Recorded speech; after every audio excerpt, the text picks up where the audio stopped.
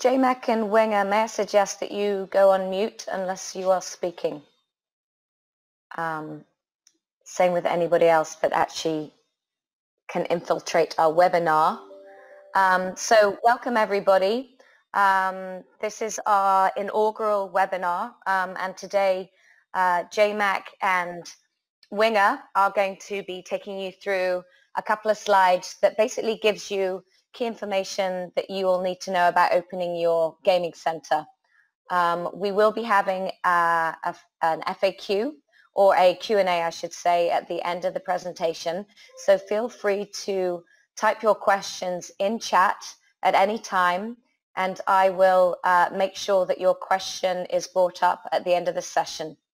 Um, with that, I'm going to it, hand it over to uh, the boys to take you through everything you need to know about opening your gaming center. Thanks for the intro, Georgina. Uh, again, I'm, I'm Jason McIntosh uh, within GG Circuit, known as JMac, and uh, that's just my nickname and my gamer tag, I guess. Um, with me is Michael Winger. He is the head of our services division at GG Circuit. So, um, just a quick background about what we're trying to do here. This really isn't about selling you on anything.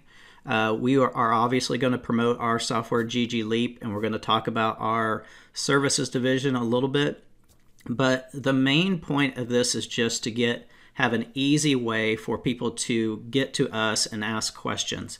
Uh, we get a lot of questions from time to time that says, "Hey, I want to open a LAN center, but I have no idea how to get started." and that this kind of starts the dance of like emailing back and forth and getting somebody set up to um, call you back and get a no obligation call going and then so we just wanted a way for people to come to us all at once go through a little bit of information so that you become more informed about everything that we a provide or b that you need to know about creating a game center so, um, Michael, I'll let you uh, start off with uh, some of your slides, and we'll just kind of go back and forth, and we'll answer questions as needed. Thanks, JMac. Uh, as already been mentioned, I'm Michael Winger. Uh, because there's about 10 billion uh, Michaels in this uh, planet, everybody just calls me Winger. Um, but it's a pleasure to meet you all digitally.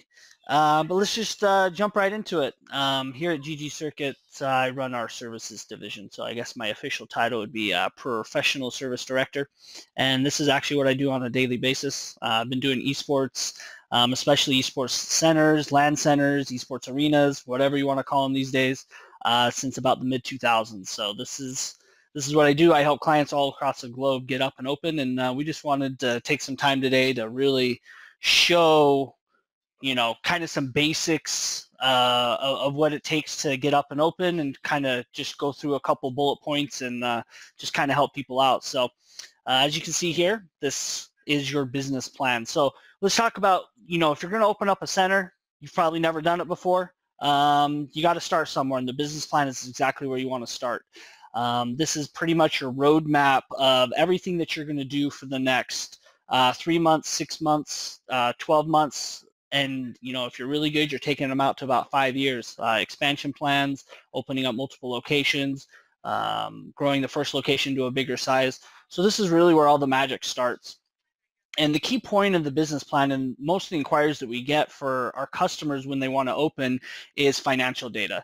Um, and the reason is is because that's what investors want to see. Um, even if you're self-funding or if you're going to go to a family member or a bank or wherever you're going to go um, you have to have financial data and it's just not available. Uh, if you wanted to go open up a McDonald's or a Subway or a Jimmy John's, um, you know, those are franchise models. You pay these franchise fees. In some cases, uh, they're very affordable and others, um, they're very, very expensive, but they're a tried and true business and the financial data is there and the company provides you with that financial data. Uh, and because of the trust that the investment market that people have in that company, uh, it's really easy to get loans and to get money for that. Uh, unfortunately, in the esports world, we're kind of the wild, wild west still is what I say. And so getting access to that financial data is super, super, super difficult. Um, so what we do here in this part of the um, business plan is we try to help you um, understand what those financial information looks like. We pull off of uh, our LAN centers that we've owned in the past. Uh, I used to own a company called the Gamers Funk in Utah. Um, I most commonly refer to that as TGF for short. Uh, our CEO and founder of GG Circuit is Zach Johnson. He still currently owns eBash in Terre Haute, Indiana. Um, we use those plus our software GG Leap to build a financial plan for your company, for your business model. Your business model is going to be different than the models that we run. It's going to be different than the guy down the street, but there are a lot of things that do translate over um, as far as patterns, utilization, um, general costs, that sort of thing. And so we help you fill out fill that information in so that you can make an educated decision on whether uh, this business is right for you.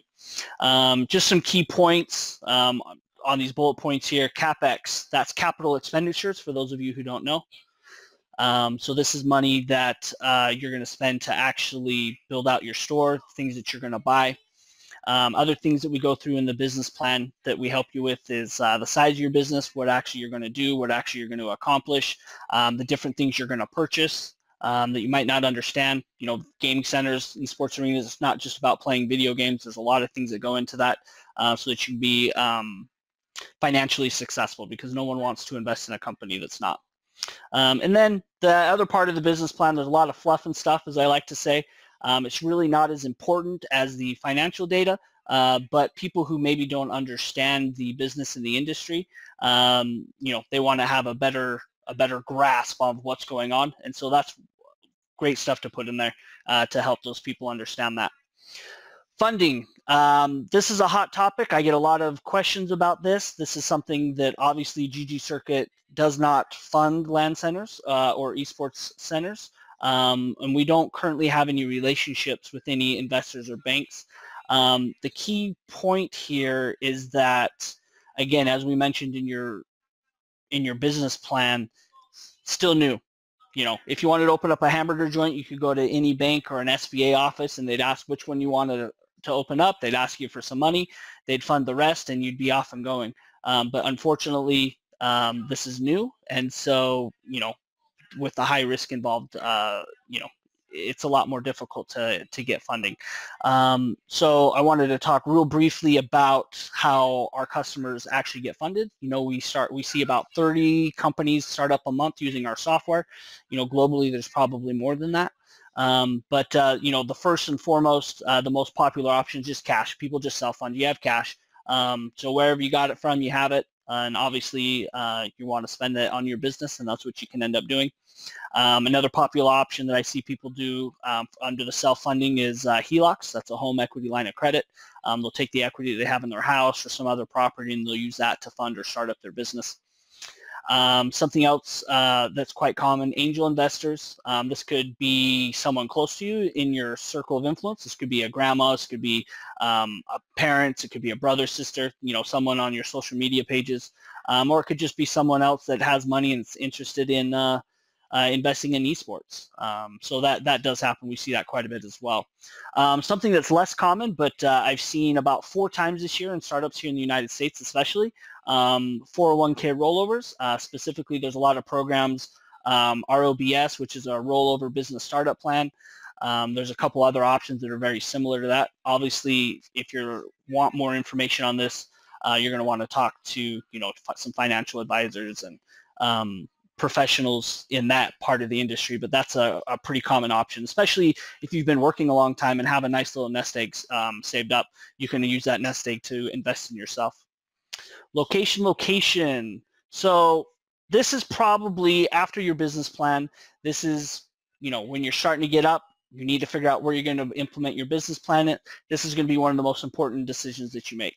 Um, there's a lot of key determining factors that determine where you want to open up. You know, obviously your business model is going to be different than the next guys. You might be large, you might be small, um, you might be targeting a different demographic. Um, so if you're targeting, you know, 14-year-olds and moms for birthday parties, or if you're targeting college kids um, or just adults for a bar. Uh, so depending on what you want to accomplish, that's going to depend on where you want to open. And there's a lot of key factors that go into that. Um, one helpful hit tip here uh, you do need to make sure you check with your local government entities. Um, we've seen quite a few businesses purchase locations or even sign lease agreements, and then after they get up and going, a couple months later, um, they have to close down because they're in violation of whatever a rule might be. Just for an example, uh, there was a gentleman in Salt Lake City a couple years ago who opened up, and after he was operating, it turned out that his place wasn't allowed to be open past 10 p.m. at night. Well, that's a problem, especially on the weekends when you want to operate till 2, 3, 4, or 5 in the morning. Um, and it's just because of the area and the way it was zoned. So he ended up having to move, and it was a really costly um, move for him because he had already invested in a build out and into the space that he was at. So um, those are just some different things that you want to uh, pay attention to. But in our GG Circuit professional services package, we talk about what makes a great location, how much you should be spending, uh, what's too little, what's too much, different things that go into pretty much perfecting the location and getting uh, you the easiest access to your customers. Management software. This is. You want me to take this one real quick? Yeah, yeah, I think this is going to be JMac. This is yeah. So, um, uh, you know, much like Winger, we have been running eBash in Indiana for uh, many years. 2004, I believe, is when we started. And so, uh, you know, we ran a competitor software for a long time and around I want to say 2012, 2013 is when we began the uh, journey, let's say, of, of building our own management software. So when when people get into the LAN center business and maybe they're technically savvy, maybe they aren't. Um, you know, there's a few competitors out there of management software, and some people don't even know that, that there's software that exists that can help you run a LAN center. So we have built GG Leap. Uh, you know, in 2012, we started building just a competition feature, and we realized that uh, we needed to build our own management software to do the things that our competitors could not. Um, so we began down that road, and it was very much a grassroots movement because we we knew a lot of LAN center owners, and we said, "Hey, try out our software, see if you like it better than the competitor," and it just kind of continued rolling um, to today. Uh, our software is a, a cloud-based PC client and web administrator, and we have about a little over 650 locations around the world right now that utilize our software. So it's just one giant network of all these locations that um, you know we can track that are using our software can send out events and we try to do our best to provide player incentives to get people back into your location. Uh, back in the day it was just good enough to have an internet connection and pcs and now um, you need a lot more you need events you need entertainment you need prize redemption you need reasons why players want to come back and either compete or just play a lot and earn a free Coke at the end of the day. Um, we have done our best to create a software that is uh, positive for business owners versus just technically savvy owners. And it's really a, an easy thing. You install our client, you log into the client, and it connects to the cloud server automatically. Um, there's obviously some settings and stuff that you have to set up and games that you have to enable, but I really feel like at a maximum, it would take someone that's non technical about a full week to get set up with GG Leap. Somebody that is technical, it may take a half an hour to an hour um, to get at least the GG Leap installed and connected. Um, it is very simple. The other thing that we take a lot of pride in is our support. So, directly within the web administrator, we have direct chat with someone live 24 hours a day, seven days a week. Um, like I said, we do not only hourly rewards for players, but we also do automatic stat tracking for specific supported games. Um, and so players earn coins from both of those areas, and they can use those coins for prize redemption both locally and globally with a global prize vault. Um, so that's just an introduction to our software.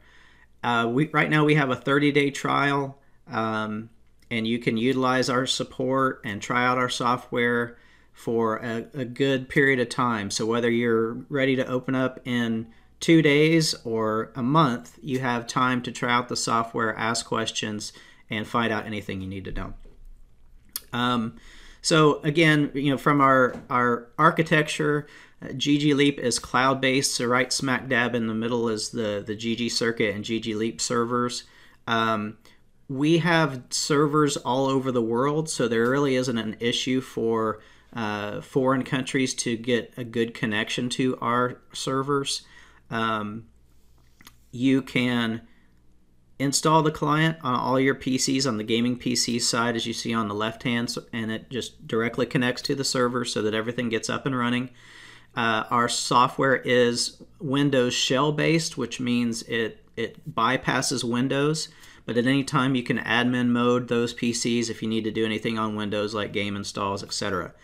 Um, and the, the cool thing about our web administrator is that you can use you can access it anywhere. It can be on a pc can be on a tablet can be on mobile.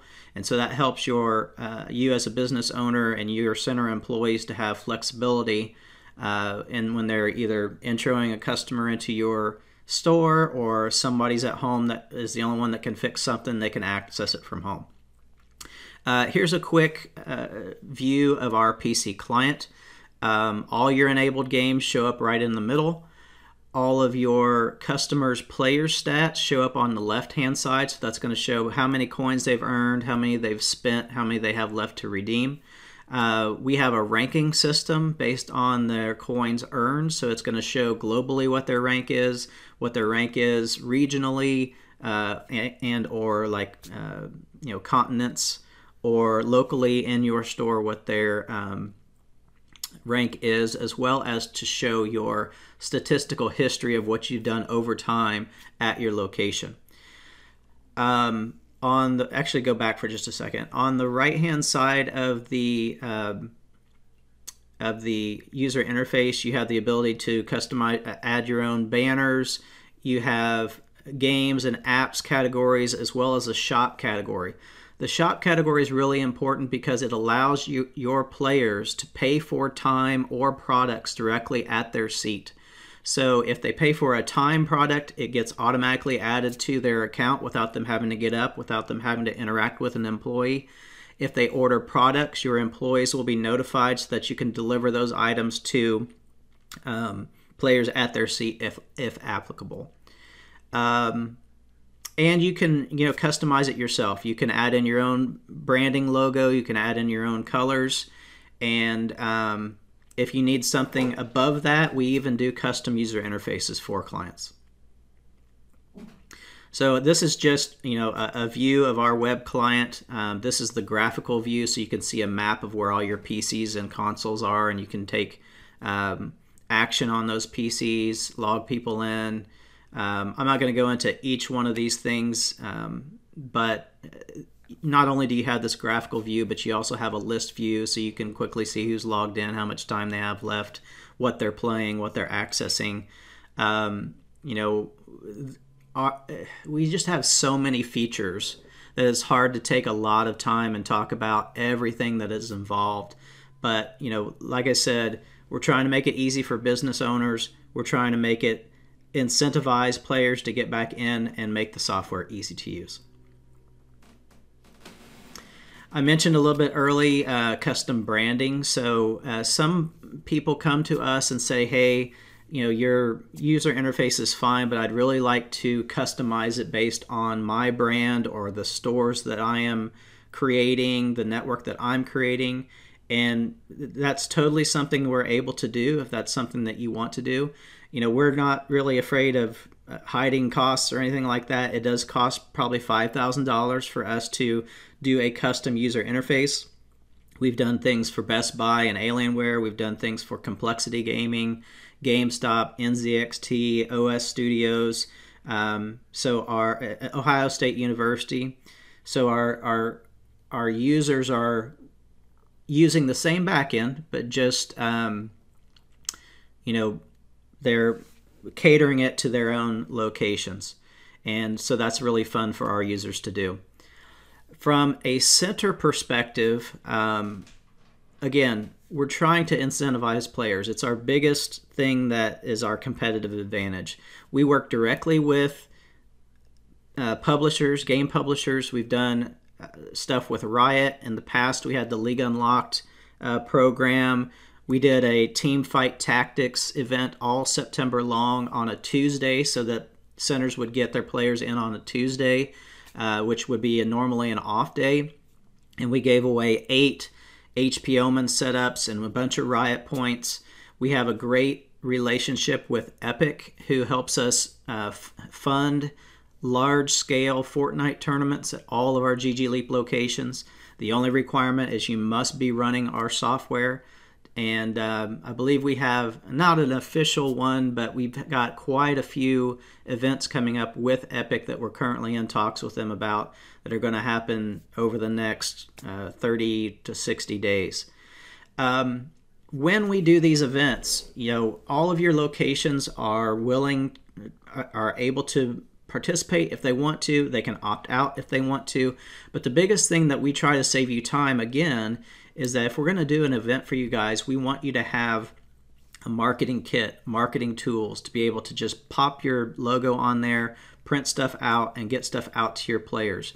So, you know, we do social media banners, we do posters, we do um, 8, 8 by 12 uh, flyers and so that you guys have that stuff and you don't have to spend time or spend money on graphic design resources to get this stuff done um, and so again we're just trying to help the, the business owner focus on the business and not have to do all the ancillary stuff sometimes that comes with a LAN center uh, global prizes i mentioned this and uh, anybody that's in here that didn't uh, hear we've got a huge partnership with slg and that's just going to keep adding in uh, more and more events. And our Prime program, which I'm not going to touch on too more much, it's it's a premium uh, benefit for players in your location, and that will be released sometime in November. A quick view of, of uh, some of the people that we've worked with. Um, you know, we, uh, from a services perspective, we do a lot of things to get decor, hardware, peripherals uh, cheaper for our customers.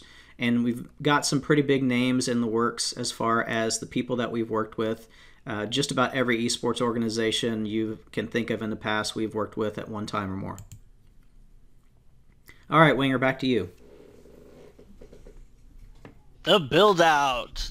Uh, this ends up being a very stressful but extremely fun part of the business plan. Um, so you've got your business plan, you've got your funding, uh, you've got hundreds of thousands of dollars sitting in the bank. You need something to do.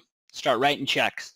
Um, and you know one of the first parts you do is the build out. So you you find your location, you get your building. So now you got to do a floor plan. Um, you've got to you know kind of figure out what it's going to look like. You got to space out your desks and your chairs, and you know how far apart they need to be, and how are they going to fit in there and what it's going to look like. Every location is different. Every floor plan is different. Everybody's business model is different. Um, the technology you implement is going to be based on your business model, your business plan, what you need to accomplish. Um, and that all kind of meshes together and uh, pops out a cool looking uh, space that you can be proud of uh, at the end of the day. We do a lot of these floor plans. Um, we basically, the best thing we do is, you know, whoever's going to provide the furniture and the decor for your company, you know, we work directly with them to maximize your space so that, uh, you know, you can get the most profit potential uh, out of your space. The more people you can get in, the more money you can bring in at the end of the day.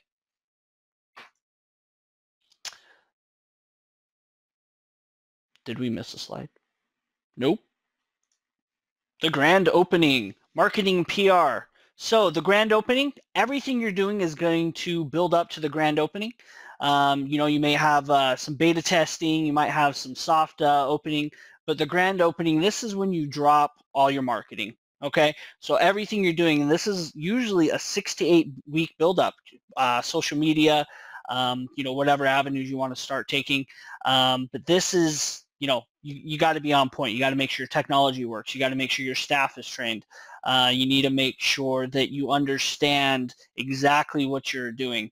And the grand opening, I had some, you know, a lot of businesses, the grand opening is really the busiest time that they ever expect to be. They expect so many people that they can't house them all and they want lines down the streets and they know they'll never be that busy again, but that's fine because it, that's that's that's their goal. That's that's the point of having this grand opening. So um, you market social media. I mean, I, there's other ways to promote. There's other ways to market. You got Google, you got AdWords, but honestly, social media is how you're going to connect with 85% of your customers.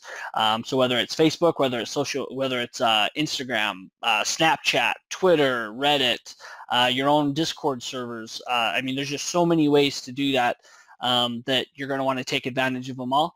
And uh, you know, if you do it properly, you're going to have a full house. Um, your grand opening should probably have a culmination of many different types of events so you can hit all the different types of communities uh, that exist in your environment. So if you got a league community, let's hold a League of Legends tournament. You got a Fortnite community, let's hold a Fortnite tournament. Uh, if you got a Team Fight Tactics community or a Dota community, whatever communities that you're trying to engage, your grand opening event should probably be a week or a month long engagement uh, to bring all these people in. Yeah, and and you know, I wanted to to mention also that uh, when you do tournaments, you can make money off of the tournaments, but a lot of times it's going to be in the food and beverages that you sell during that tournament day. A lot of times when you have events and you have tournaments that you are doing yourself, um, it's really a marketing exercise. It's a marketing exercise to get people in the door uh, because the payments that they're going to be paying for the tournament should go to your prize pool.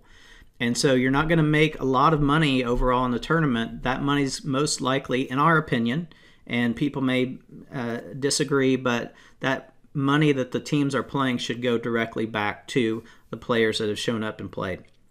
Um, so you obviously can run your own tournaments, you can run your own events, you can do be as creative as you want to be, but what we do for GG Circuit is a get global and nationwide events set up. So players that come to your place can still compete on a national level without having to pay for travel and hotel, etc.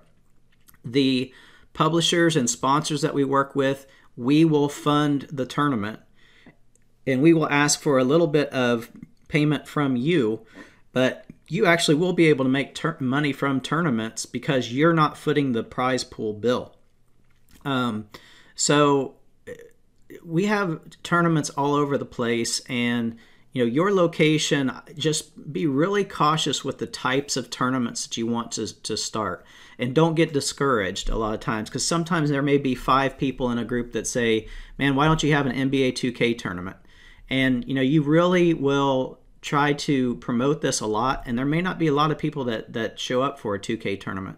So, in our experience, uh, League of Legends is a no-brainer. C- uh, CS:GO is okay. You get a lot of uh, people that want to tweak their setup a lot with CS:GO. Uh, Call of Duty is kind of a no-brainer when it comes to tournaments, and then really listen to your uh, customers and their interest level, but just use a little bit of caution when you're doing those tournaments. Something and else. To add to that, sorry, J-Mac, to yeah. interrupt, but I just wanted to add to that. I mean, obviously, running your own local tournaments based on what your user base, what your gamers like to play, is really important.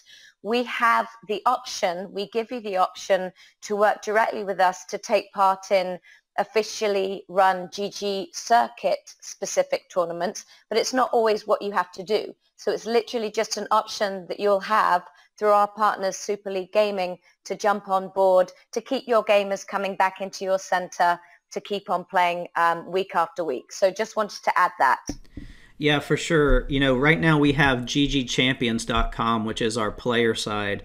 And the Super League Gaming announcement from last week, they will actually be taking over the ggchampions.com brand uh, and will be our our brand for the player side. We're really excited about that because they're going to be uh, huge marketing to your players, getting brands and sponsors, uh, brand activations in everybody's center, creating daily events that people can come and participate in, and helping us boost those prize pools for major events.